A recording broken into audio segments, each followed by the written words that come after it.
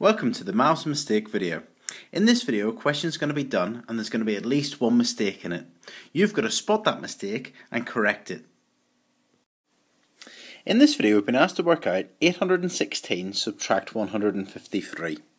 So whenever you're doing a subtraction question it's very important that you lay them out properly. So you'd write 816 subtract 153.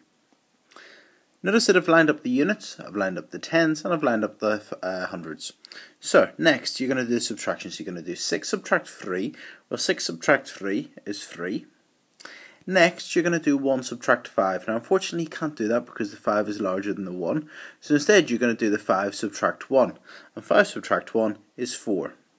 And finally, you're going to do 8 subtract 1. And 8 subtract 1 is 7. So the answer is 743.